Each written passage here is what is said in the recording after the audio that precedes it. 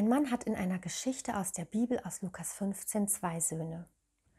Der Jüngere verlangt von seinem Vater die Auszahlung seines Erbanteils und zieht los, um dieses mit Partys und mit Huren zu verprassen.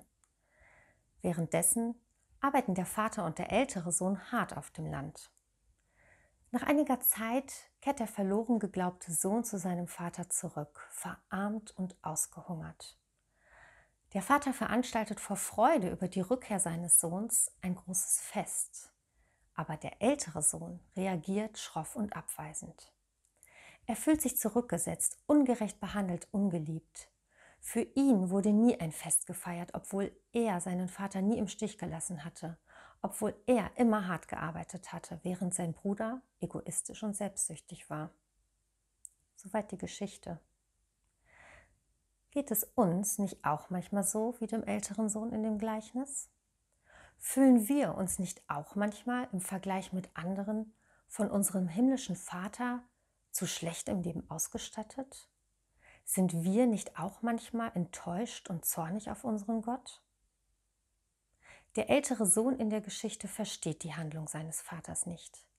Und so ist es für mich überhaupt nicht verwunderlich oder gar ein Zeichen von mangelndem Glauben an Gott, wenn auch wir manchmal mit unseren Lebensumständen oder den Geschehnissen um uns herum hadern. Auch das kann Teil von unserem Glaubensleben sein. Was glaubst du? Wie ist die Geschichte in der Bibel weitergegangen? Die Bibel erzählt es uns nicht.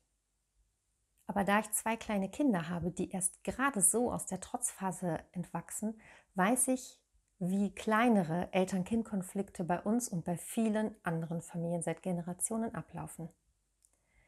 Wie oft hatten mein Mann und ich in den vergangenen Jahren unsere Kinder tobend vor Wut, Überforderung und Hilflosigkeit auf unserem Schoß.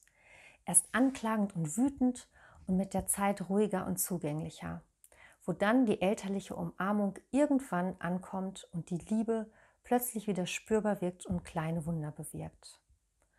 Oft ist unsere Eltern-Kind-Beziehung nach so einem Gewitter, nach so einem Tief sogar besser als vorher.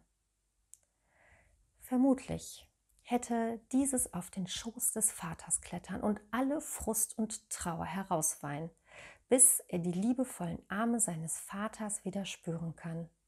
Auch dem älteren Sohn aus dem Gleichnis geholfen.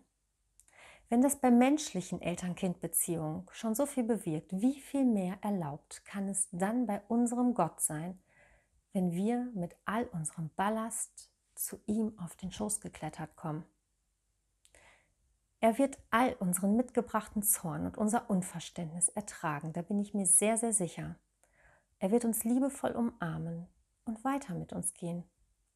Vielleicht ist unsere Beziehung zu unserem himmlischen Vater anschließend sogar stärker als zuvor. Sitzt du auf dem Schoß von deinem himmlischen Vater?